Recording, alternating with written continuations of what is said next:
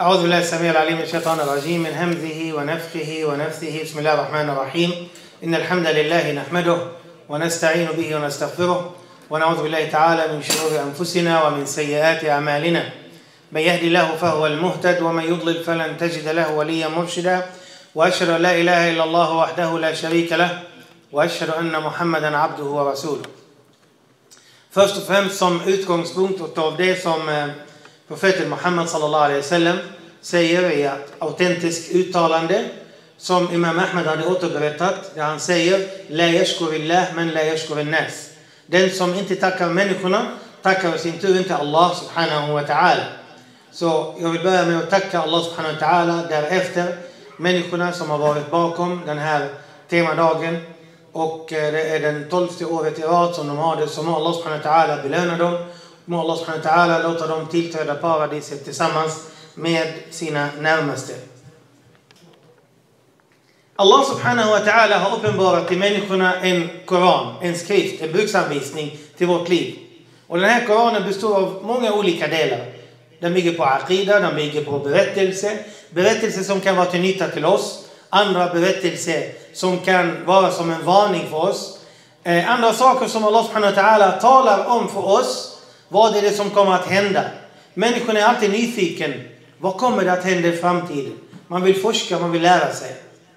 Och eh, den här berättelsen som jag tänkte berätta idag, den bygger i stort sett på många delar av de här delarna som Koranen brukar ta upp.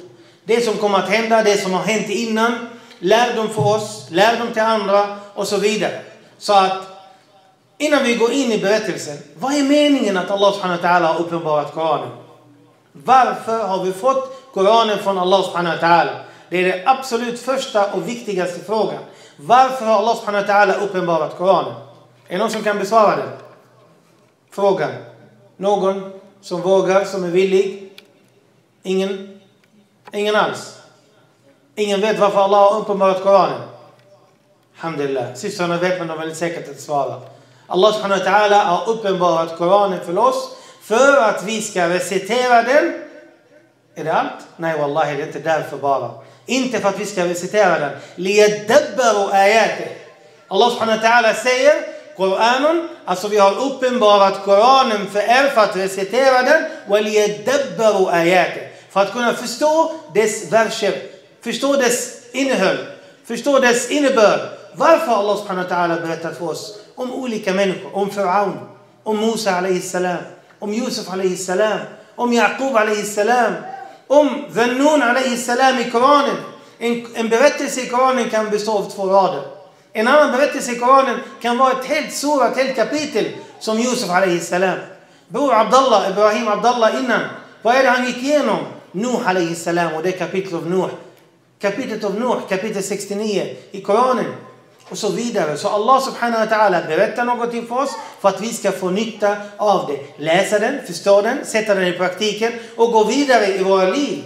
Någonting som vi ska lära oss någonting om. Om, inte vi, om vi läser Koranen och inte förstår dess innebörd. Wallahi, då har vi inte gjort så mycket. Då har vi inte gjort så mycket. Vad är det Allah subhanahu wa ta'ala beskriver människorna innan oss, de som har fått skriften innan oss? Att de är precis som åsnan som bär på sig massor med last. Men han har inte fått nytta av lasten. Vi läser. Och vi läser. Och vi läser igen. Men hur mycket har vi förstått av det som vi har läst? Kanske vi har förstått 10 procent? 30 procent? 50 procent? Hur mycket har vi haft i praktiken av det som vi har läst? Och det är det som är vitsen. Det är det som är vikten. Att sätta i praktiken, att handla i enighet med skriften. Att handla i enighet med Koranen. Att handla i enighet med profetens sunna sallallahu alaihi wasallam.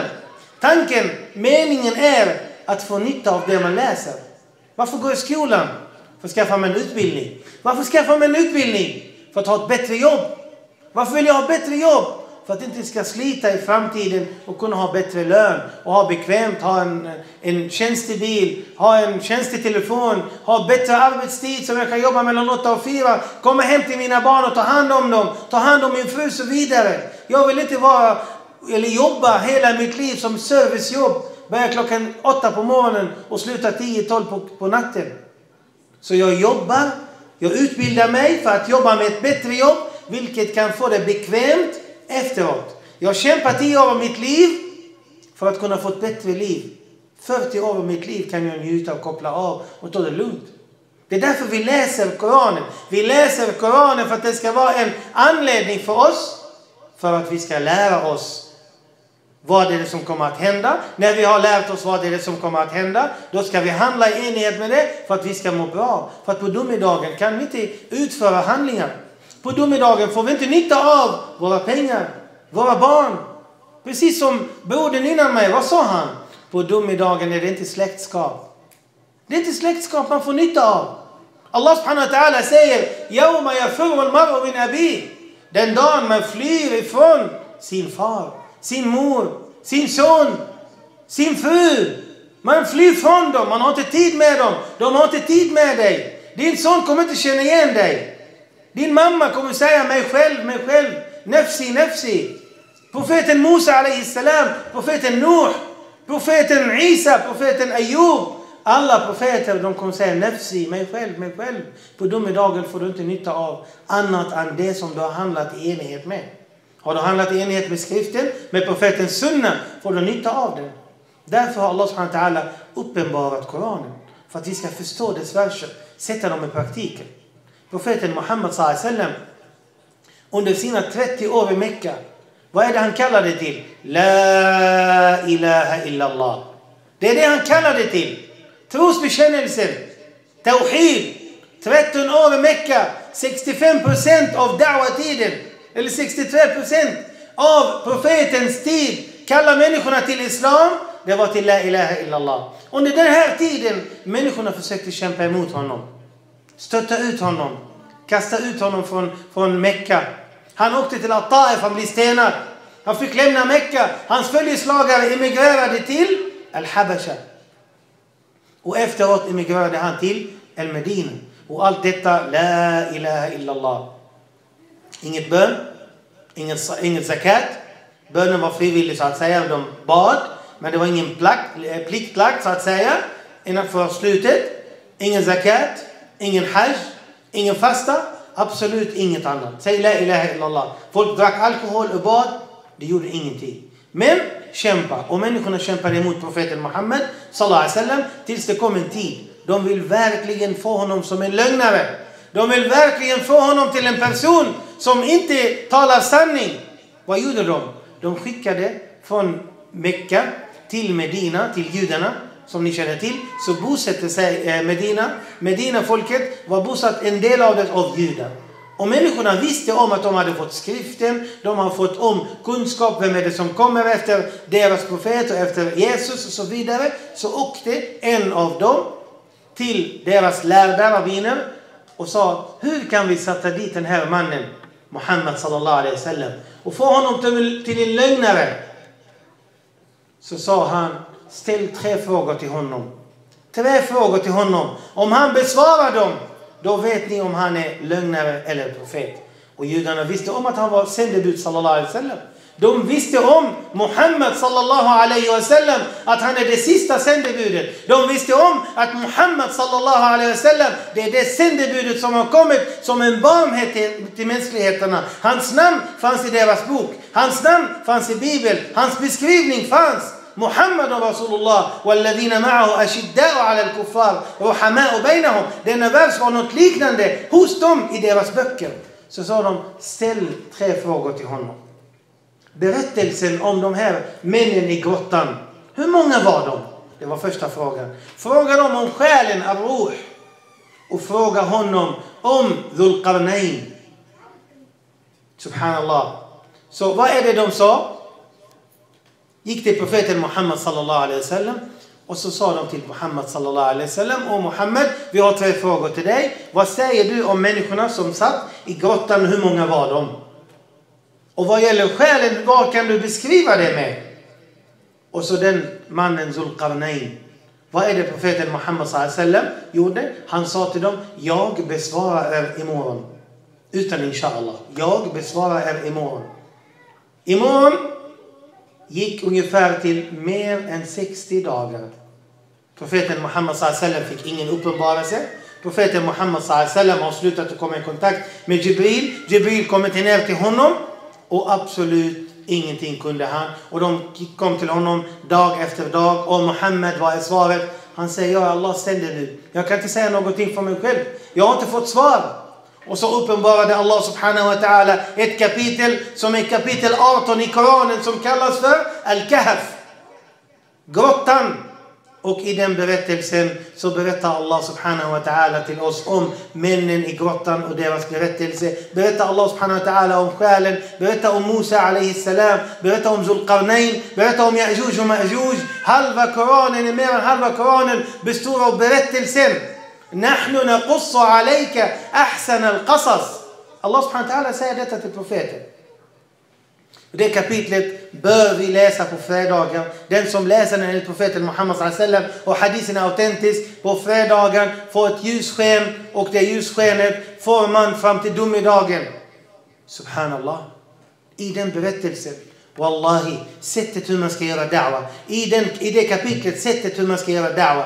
I det kapitlet, sättet hur man ska behandla sin familj. I det kapitlet, sättet hur du ska bemöta andra. I det kapitlet, en stor del av tawhid. I det kapitlet finner du hela ditt liv.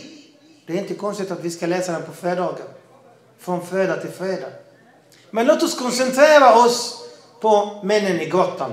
Vad är det för historia bakom dem? Och varför berättar Allah subhanahu wa ta'ala någonting om dem för oss? Varför ska vi få reda på detta? Precis som man säger till sin son, eller till sin dotter eller till sin bror, när man ska sitta och spela lite Xbox och Playstation. Varför ska du spela? Vad får du för nytta av det? Så säger han, jag ska bara få tiden att gå vidare. Är det därför vi har fått den berättelsen? Absolut inte. För att lära oss. För att lära oss. Människorna i grottan har en bakgrund som börjar egentligen i Jordanien. Någonstans i Jordanien hade de en kung. Och den här kungen ville att folket ska dyrka honom. Ska gå ner till sujud för honom. Böja sig för honom. Men de vägrade. De här männen, unga män. Lägg märke till vad Allah subhanahu wa ta'ala säger. Innahum fityatun amanu bi rabbihim. Allah subhanahu wa ta'ala talar om fitya. Unga män. Förlåt de som är äldre, det är inga gubbar vi snackar om. Det är inga gamla, det är inga gamla mammor så att säga. Vi snackar om unga män. Allah ger dig en signal. Att ni som är unga spelar en stor roll. Ni som är unga har en stor betydelse för Islam. Ni som är unga har en stor framtid. Män eller kvinnor, ni som är unga, det är ni som kommer att ge seger för Islam. Vem är det som gav seger till profeten Muhammed sallam? Det var unga män. Vem är det profeten Muhammed sallam satte som ansvarig för soldaterna? Han var 16 år. Han var 16 år och så profeten Muhammed sallam dog. Vad sa Omar? Vid Allah Aldrig skulle jag byta ut honom. En person som profeten satte. Subhanallah, han var 16 år. Han var ledare. Han var ledare för soldaterna. Det är inte frågan om ålder. Det är frågan om viljan. Det är frågan om ambition. Det är frågan om strävan för Allah subhanahu wa ta'ala och inte minst för de ungdomarna som bor här i sådant land som detta. Frestelser dag och natt. Wallahi frestelser dag och natt. Fitan. Subhanallah. Fitan, frestelser dag och natt. Wallahi man bara går ut från moskén. Börjar frestelsen. Och inte bara med detta, ovanpå alltihopa så kommer ashubuhat. Tveksamheter av olika grupper, olika människor som får en att tveka sin religion. Vi behöver förstärka vår religion. Vi behöver ge oss styrka. Vi behöver verkligen dyrka Allah subhanahu wa ta'ala så som han vill. Därför läser vi om Ahlul Kahf, Ashabul Kahf, männen i grottan hur många var de? Väldigt få till antal. Vad gjorde de? Väldigt mycket. De vägrade dyrka. Vem? Kungen. De vägrade gå ner i sujud för honom. Varför? Allah subhanahu wa ta'ala säger Innahum fityatun amanu bi rabbihim. Det är unga män som trodde på Allah subhanahu wa ta'ala. Wazidnahum huda. Allah subhanahu wa ta'ala säger Wazidnahum. Vi utökade deras vägledning. Du ska inte säga att jag är svag troende. Du ska aldrig säga det. Aldrig! Det räcker att du har den minsta tron och du sätter igång för Allah subhanahu wa ta'ala. Så Allah kommer att ge dig mera och mera tron i ditt hjärta. De vägrade göra sujud för den här mannen. Så att de samlade sig. Och var och en av dem, lägg märke till det. Jag kanske inte kommer gå händelsen precis så som steg för steg. Men jag ska se hur jag kommer lägga upp det inshallah. Var och en av dem gick och de samlades allihopa i grottan. Och ingen av dem kände till vad den andra ville. Och ingen av dem kände till vad den andra trodde. Ingen vågar säga någonting. Absolut inte en enda vågar öppna munnen och säger Jag är muwahid. Jag säger La ilaha illallah. Ingen av dem vågade för att han trodde att de andra var vad? Tillhör kungen. Och de tillhörde hans soldater så de vågade inte avslöja detta. De gick och samlade sig, subhanallah, till en grotta. Till din grotta. Och där säger Allah subhanahu wa ta'ala till oss Innahum fityatun amanu bi rabbihim wazidnahum huda. Det är män som har trott på Allah subhanahu wa ta'ala. Och vi har utökat deras vad? Deras vägledning. Deras vägledning. De samlades där och så grottan stängdes helt och hållet. Nu ska vi gå händelsen, eller belysa händelsen på en annan väg. Vad hände? De sov. När man sover, hur länge kan man sova? Hur länge kan man sova? Ett dygn? Jag var sjuk ett tag och sov ungefär två och en halv dygn. I stort sett i sträck. Min fru väckte mig och gav mig dricka, vätska, emellanåt utan att jag kände av det. Okej, okay, det var bra, det var perfekt. Men hur länge kan man sova? Tre dygn? Sen vaknar man med trötthet i kroppen. Med trötthet i kroppen. När man sover, vad händer? Ögonen somnar till. Munnen stängs. Man fortsätter att andas in och ut. Men vad händer med, med hörseln?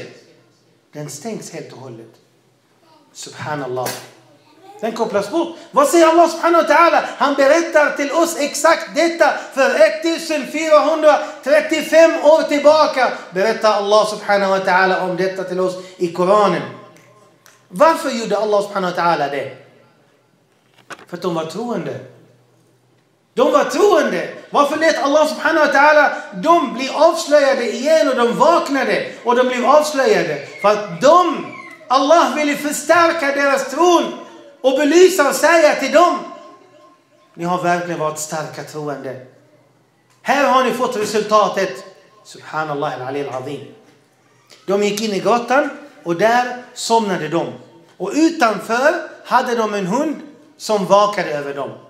Och ingen av människorna kunde gå in till grottan. Ingen av människorna. Varför? Hunden satt utanför och alla trodde att hunden var levande. Men hunden sov med dem. Subhanallah al-Ali al-Azim. Och vem är det som tog hand om dem? Allah subhanahu wa ta'ala. Inga människor, ingen kvinna som gav dem vätska. Inga människor som gav dem hjälp. Inga människor som var hos dem. Okej, okay? när man ligger så länge som jag kommer säga, jag kan avslöja det, 309 år liggandes. Vad händer med kroppen? Har någon av er besökt sjukhuset? Vad gör de med de äldre som ligger, som inte kan röra sig i sängarna? De vänder på dem till höger och till vänster. Ungefär två gånger om dagen. För att det ska luftas under dem. För att inte det ska bli någon skada i kroppen.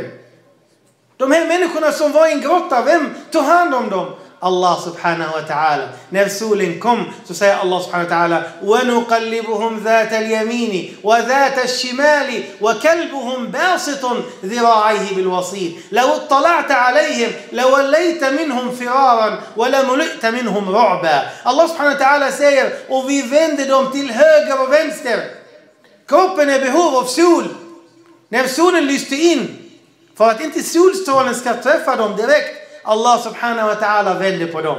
Och när solen gick ner, Allah vände tillbaka. Allahu akbar. Allahu akbar. Varför tog Allah subhanahu wa ta'ala hand om dem? För att de var troende. Varför lät Allah subhanahu wa ta'ala dem vakna till liv igen? För att de var troende. Allah vill bevisa för dem.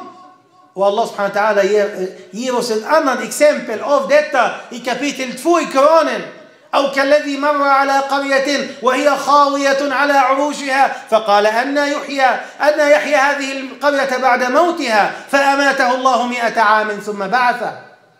افتت الله سبحانه وتعالى برتهم إبراهيم i kapitel 2 i Koranen på andra juzo i mitten så säger han eller så som den som har gått förbi en by ett by som var dött så sa han hur skulle Allah eller hur skulle denna vakna till liv igen efter att han har dött? Allah lät den här personen sova, dö i hundra år. فأماته الله ثم بعثه Allah lät honom dö. Och jag säger dö betyder inte den stora döden så att man ska begrava personen. När man sover så är det den lilla döden som det kallas. Sömn är den lilla döden. När vi går och sover så dör vi så att säga. Själen lämnar kroppen. Så som Allah subhanahu wa ta'ala säger. Allahu yatawaffa al-anfusu hina nawmiha. Allah subhanahu wa ta'ala avlider väsen, människan, under tiden de sover. Så den individen som Allah har bestämt att han skulle dö, var helt död, khalas. Allah subhanahu wa ta'ala skickar inte tillbaka hans själ. Det är en koranvers. Allah subhanahu wa ta'ala säger, så vi skickar tillbaks själar till dem som vi har bestämt att de ska vakna till liv igen och de andra håller vi kvar. Så Allah subhanahu wa ta'ala lät honom dö och väckte honom. Och han såg subhanallah byn runt omkring sig. Allt var ändrat. Och de här också, efter att de har gått in och vägrade göra sujud till kungen och inte vill göra det. De lämnade så att säga staden, gick in i en grotta, de somnade, Allah subhanahu wa ta'ala lät dem sova helt och hållet. Och Allah subhanahu wa ta'ala stängde lock på deras öron. وَضَرَبْنَا عَلَى آذَانِهِمْ Varför?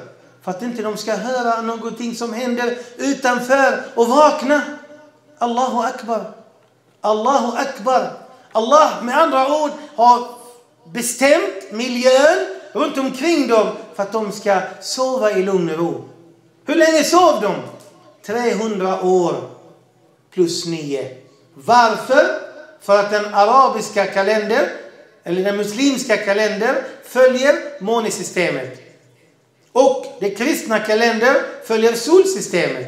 Och på de två skiljer sig några dagar. Och på 300 år så är det nio års skillnad. Allah subhanahu wa ta'ala säger وَلَبِثُوا فِي كَهْفِهِمْ ثَلَاثَمِائَةَ سِنِينَ وَازْدَادُوا تِسْعًا Allah subhanahu wa ta'ala säger de bodde i sin grotta 300 år och nio år till.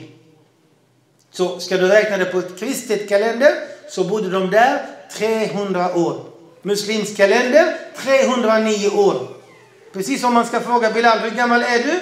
Jag är 44 kristet, 47 muslimsk kalender. Så jag är tre år äldre. Jag avslöjar det. Jag är tre år äldre enligt den muslimska kalendern än vad jag är egentligen enligt den kristna kalendern. Så jag brukar hålla mig till den kristna och säga bara 44 istället för 47. Men Allah subhanahu wa ta'ala bestämde det här för dem för att de ska sova och då var det dags att vakna igen. Och människorna runt omkring dem, de visste inte var de var. De försvann helt och hållet. Med sig hade de lite mynt. De sov där och så helt plötsligt vaknade de allihopa. Och när de har vaknat så frågar de varandra, hur länge har vi sovit? Hur länge har vi sovit? De sa en eller två dagar. Sa de till varandra. Och då berättar de för varandra om att de är troende, de är muslimer. De erkände för varandra. Så vad gjorde de? De var hungriga. Och det är normalt när man har vaknat, vad är man? Vad brukar man käka på morgonen? Frukost. De var hungriga. Och de hade lite silverpengar. Lite silverpengar. Och de här silverpengarna, det var lite speciellt med de här silverpengarna. Kungen som bestämde i stan, i byn, han vill att folket ska dyrka honom. Vad kan ni föreställa er det finns för bild på silverpengarna? Kungens bild. De hade det med sig. Så sa jag Allah subhanahu wa ta'ala att de valde ut en av dem. Lyssna nu här. Kolla nu här deras försiktighet. Wallahi, Islam lär oss allt. Koranen lär oss allt.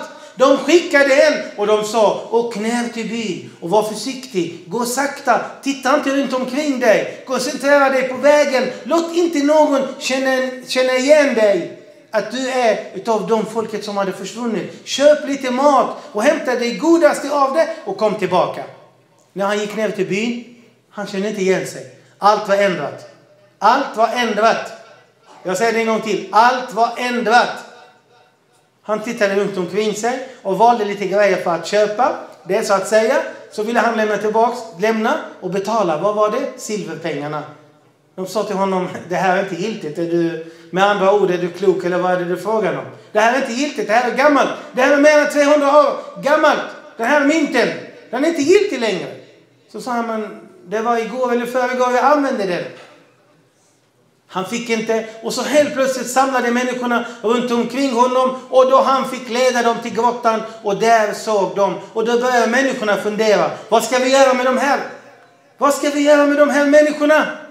Vi bygger en, en moské på dem. Vi gör det ena, vi gör det andra, subhanallah. Och Allah subhanahu wa ta'ala låt, lät dem dö helt och hållet. Varför vaknade de till liv? För att de ska säga, för att de ska veta لِيَعْلَمُوا أَنَّ وَعْدَ اللَّهِ حَقٍّ وَأَنَّ السَّاعَةَ آتِيَةٌ لَا رَيْبَ فِيهَا För att de ska veta om att timmen, domedagen är en sanning. Subhanallah, utan tveka, utan tveksamhet. Utan tveksamhet. Detta var lite kort om just de här. Vad gjorde Allah subhanahu wa ta'ala? Han tog hand om dem. Med andra ord så säger Allah subhanahu wa ta'ala till dig som individ. Börja med iman i hjärtat. Sätt igång. Kör. Gå vidare. Tänk inte på hur du ska göra det. Tänk inte på hur du ska göra da'wa till Allah. Tänk inte på att du är ensam. Var och en av dem var ensam. Men de samlades på ett och samma ställe. Var och en av dem var rädd om sin religion. Så han vill inte berätta det för de andra. Vad är våra ungdomar idag? Hur pass rädda är de för sin religion? Vad gör de för sin religion? Vad gör de för la ilaha illallah? Profeten Muhammad sallam höll på 13 år i Mecka för att förmedla la ilaha illallah. De stenade honom, de kastade ut honom, de emigrerade hans följeslagare. En del till Medina, en del till Habasha. Hans, far, hans farbror dog, hans fru dog, han fick inget hjälp. Vad gjorde han? Han stod ut för la ilaha illallah. Wallahi, vi skäms! Och vi ska skämmas! Och vi ska egentligen skämmas ännu mer säga till profeten Muhammed, sallallahu alaihi wasallam på domedagen, du blir utkastad av Mecka för att du sa la ilaha illallah och vi här i Sverige kan säga la ilaha illallah helt öppet. Vi får hjälp av staten för att säga la ilaha illallah. Och vi gör inte det. Vi har inte tid till det. Brorsan, wallahi jag har inte tid. Vad gör du? Jag är arbetslös. Men om du är arbetslös så kan du hjälpa oss med detta. Nej, wallahi jag har saker att göra. Vad gör du? Wallahi ingenting. Uppe till vad? En kvart, 20 minuter innan Fajr, då börjar man gäspa. Nu ah, då måste jag gå och lägga mig, jag är trött. En kvart innan Fajr så går man och lägger sig. Och när vaknar man? Kanske en halvtimme innan, innan Asr. La ilaha illallah. Och du säger varför får vi inte seger av Allah? Du säger varför inte vi får seger av Allah? Du säger varför händer detta med våra bröder i Gaza? Eller i Syrien? Eller i Afghanistan eller i Pakistan. Allah subhanahu wa ta'ala säger bima kasabat aydikum. På grund av vad ni har tjänat ihop. Vad gör våra ungdomar? Här har vi en lokal. Det är knappt 70 personer här inne. Vad är resten av muslimerna i den här staden? De har inte vaknat. De har inte tid att komma hit. De har inte tid att lyssna på en föreläsning. De har inte tid att vara här. De vill inte lyssna, de vill göra annat. De är trötta. Medan människorna har offrat sina liv. Medan människorna har offrat sina liv. För vad? För la ilaha illallah. För la ilaha illallah. Om inte vi förmedlar detta för Allah subhanahu wa ta'ala, vem ska göra detta? Om inte vi förmedlar Allahs religion, vad tror vi att kuffar kommer att säga och lära människorna om la ilaha illallah? Det gör de inte. Om inte du utbildar dina barn i enlighet med Islam, vem är det som gör det? Vem är det som gör det? Dagisfröken? Kommer hon att lära din son al-haya, blygsamhet? Wallahi, det är inte det de gör, det är tvärtom. Jag ska inte här propagera emot deras sätt så att säga. Men vad är det de gör? Lägg märke till den hadith som jag nämnde för en halvtimme kanske till en liten pojke, Ibrahim. Jag sa till honom, Imam består av 73 andelar. Det högsta av det är att säga La ilaha illallah. Och det lägsta av det att avlägsna skräp från marken. Och vad säger profeten? Min iman. Och blygsamhet är en del av iman. Våra barn lär inte sig la ilaha illallah i skolan eller på dagis. Våra barn lär inte säga att avlägsna skräp på marken, att det är av iman. Men vad är det de lär sig? De lär sig precis det som är mitten för motsatsen. De håller på att ta död på haya hos våra barn. Blygsamhet. De lär dem att det inte är blygsamt. Det är inte ayabaya, det är inte aib att duscha nageln för, för andra. Det är inte haram att hålla hand på en flicka. Vad är det som händer med haya? Den dör. Och när haya dör, vad händer med den delen av iman som är där uppe? Och den delen som är där nere? De kollapsar. De kollapsar. Vem är det som ska lära våra barn det som är rätt och det som är fel? Det är vi. Vi lär oss berättelsen av dem i grottan för att säga och lära oss oavsett var vi finns, oavsett vad vi tänker på, bara vi har La ilaha illallah rakt in i hjärtat och så sätter vi igång. Allah subhanahu wa ta'ala hjälper dig. Allah förbereder saken för dig. Allah underlättar vägen för dig. Och Allah låter människorna älska dig. Och du kommer att göra da'wa. Och du kommer att se en välsignelse av allt du gör. Men när du sitter hemma, sitter tillbaka och tittar på film och inte har tid att komma till moskén, inte har tid att vakna till fajr, gå och lägga dig en kvart, 20 minuter innan fajr och inte vakna till dhuhr och missa dina böner. Vad händer? Hur skulle Allah subhanahu wa ta'ala ge dig seger? Hur? Allah subhanahu wa ta'ala säger In tansurullaha yansurukum. Om ni ger seger till Allahs religion, Allah ger seger. Om vi ger seger till Allahs religion. Inte att vi, om vi sover eller sitter hemma och tittar på film eller gör något helt annat. Eller inte säga till våra barn detta är haram och detta är halal. Gör inte så, men gör så istället. Om inte vi gör det, vem ska lära våra barn? Wallahi, wallahi, wallahi, på domedagen kommer vi att bli tillfrågade. Vad vet våra barn om männen i grottan? Vad vet våra barn om Yusuf salam? Vad vet våra barn om Jakob salam? Vad vet våra barn om Ulul Azim? De profeterna som brodern nämnde innan, de vet ingenting. Men om du frågar våra barn, när gifte Zlatan sig, Wallahi alla kan besvara det. Hur många mål gjorde han i sitt liv? Så säger de, utan till. Är det det Allah subhanahu wa ta'ala kommer att fråga dem? Bortse från dem helt och hållet. Är det det Allah subhanahu wa ta'ala kommer att fråga dig? Vad är det profeten Muhammad sallam säger? Kullukum ra' Kullukum ra' wa kullukum mas'ulun an. Var och en av er är ansvarig och var och en av er kommer att tillfrågas om sitt ansvar. Vi lär oss berättelsen om dem i grottan för att lära oss hur vi ska uppfostra våra barn. Hur vi ska ta hand om våra barn. På vilket sätt vi ska göra det för att komma närmare Allah subhanahu wa ta'ala. Vårt mål, vår ambition, vårt hem som man kallar på arabiska. Melladhi hummuk. Vad är det du bekymrar dig för? Vad är det du tänker på 24-7? Det bör vara att göra Allah subhanahu wa ta'ala nöjd. Wallahi, om du har något annat problem i ditt liv, något annat bekymmer, något annat du tänker på som inte är den punkten att göra Allah nöjd, kommer du aldrig att lyckas. Du kommer aldrig att lyckas. Så att ansvaret som ligger på våra axlar, mina bröder, är väldigt tungt. Wallahi, det är väldigt tungt. De här männen som kom in i en grotta, de var unga. De var unga. Allah säger indirekt till dig, Säg inte att du är ung och inte, säger, och inte vet någonting. Du vet väldigt mycket om Islam. Det var det enda de kunde. La ilaha illallah, de här, de här männen. De kunde inget annat. De vill inte gå ner i sujud för att det säger sig självt att det är felaktigt. Varför ska jag göra sujud till en människa? Jag gör sujud för den som har skapat den människan. Och det är Allah. De ville inte. Allah säger indirekt till dig. Det behöver inte vara sujud. Wallahi, var och en av oss som har barn, eller var och en av oss som har gått igenom sin tid här i Sverige, har gjort sujud på ett annat sätt. Sujud till sina luster. Sujud till sina begär. Det är det Allah subhanahu wa ta'ala vill. Det ska inte behöva vara en kung som ska sitta där och säga till mig Bilal, gå ner i sujud för mig. Har du sett, säger Allah subhanahu wa ta'ala, har du sett den som har antagit sina egna lustar och begär som sin egen Gud. Mina begär styr mig om inte jag styr dem. Mina begär får mig att utföra dåliga saker om inte jag styr dem. Mina luster får mig att begå felaktigheter om inte jag säger hela tiden och uppfostrar mig själv att nej, detta är haram. Detta är haram. När du är alldeles ensam hemma och sitter hemma och pappa eller frun inte är hemma eller mamman, då ska du inte begå felaktigheter och säga ingen ser mig. Du ska veta att Allah ser dig. Han är Samir. Han är Al-Basir. Han hör dig. Han ser dig. Det är det Allah subhanahu wa ta'ala vill belysa till oss i det här kapitlet. Eller den här berättelsen. Männen i grottan.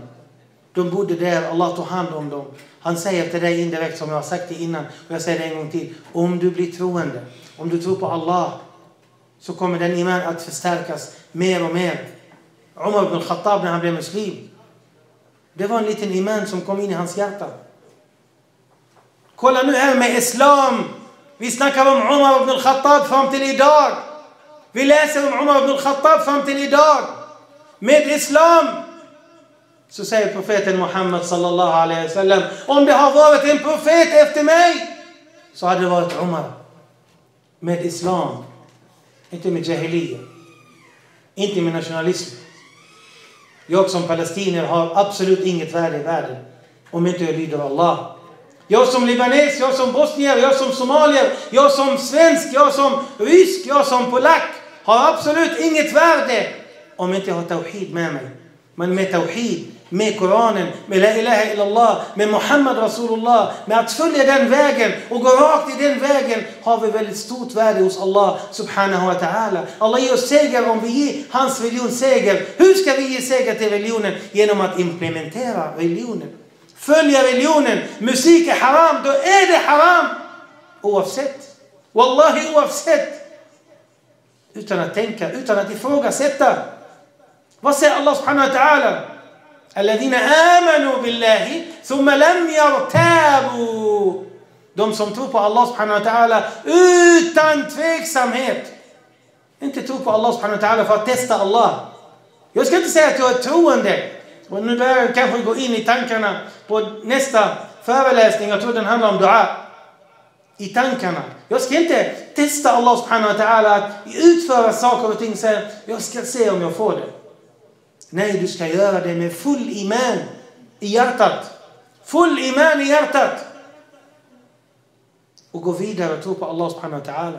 Grottan och dess folk är ett exempel för alla människor som är svaga. Grottan och dess folk är ett levande exempel för alla människor som har en svag iman som vill förstärka den. Grottan och dess folk är ett levande exempel för alla de som vill göra da'wa till Allah subhanahu wa ta'ala. För att de gjorde da'wa till varandra. De gjorde da'wa till varandra och upptäckte att alla de trodde på samma sak. Grottan och dess folk är en levande exempel för alla de som vill verkligen göra Allah subhanahu wa ta'ala nöjd med dem. Grottan och dess folk är verkligen levande exempel. Och jag säger levande exempel, den lever. Vi läser den i Koranen. Det är levande exempel för varenda syster. Även om det var män där. Men Allah subhanahu wa ta'ala snackar om fittiga, unga människor. Det är inte så att jag ska bli troende och låsa in mig i en grotta. Det är inte det som är tanken. Men jag ska hela tiden tänka på att jag blir troende, Allah hjälper mig. En syster säger, jag blir troende, jag tar på mig jilbab, jag tar på mig niqab. Och Allah subhanahu wa ta'ala hjälper mig. Allah ger mig en utväg från detta. I mer än fem ställen i Koranen säger Allah subhanahu wa ta'ala direkt och indirekt وَمَنْ يَتَّقِ اللَّهَ يَجْعَلْ لَهُ مَخْرَجًا Den som fruktar Allah, Allah ger dig en utväg. Allah ger dig en utväg. Allah hjälper dig. Allah vill testa dig. Vi befinner oss här i en tid av prövningar. Det gäller verkligen att lyckas. Du läser en skola. Du har test. Läraren kanske vet om att du kan detta. Men du måste gå in i tentasalen, i testlokalen för att gå in där och besvara frågan. Även om läraren visste om att du kan svaret på den frågan, om inte du skriver den så kuggar du. Allah subhanahu wa ta'ala vet vad du kan och inte kan. Men han har skapat dig och han lät dig vara på denna jord.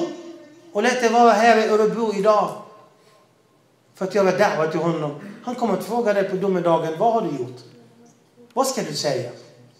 Vad ska du säga när dina händer säger till Allah, Wallahi, straffa honom. Han har använt mig för att snatta. Han har använt mig för att klicka på felaktiga sidor på internet. Han har använt mig för att sätta igång olika musik på olika kanaler. Vad ska du säga till Allah? Vad ska du säga till Allah? Så gå tillbaka till Allah subhanahu wa ta'ala. Stärk din religion. Och be Allah subhanahu wa ta'ala om det. Och inshallah nästa föreläsning kommer att gå vidare. Nu har vi fått iman från Allah subhanahu wa ta'ala. Hur ska vi förstärka den iman? Då ska vi snacka inshallah om en ibada som en bortglömd ibada till Allah subhanahu wa ta'ala. Och det är dua att åkalla Allah subhanahu wa ta'ala. Men innan vi avslutar inshallah så vi ber Allah subhanahu wa ta'ala om att vägleda oss till det rätta. Hålla oss på den raka vägen och vara till hjälp till oss för att vara bättre och godare muslimer. Vi ber Allah subhanahu wa ta'ala att stärka vår iman och låta oss tillträda den här religionen med helhet, med hela hjärtat följa den religionen. Wallahi, även om vi skulle dödas, bara följa den religionen och gå vidare. Allah låter ditt namn gå vidare inshallah. Allah låter ditt namn gå vidare. Vi ber Allah subhanahu wa ta'ala om att vägleda oss rätta och hålla oss på den raka vägen. Amin.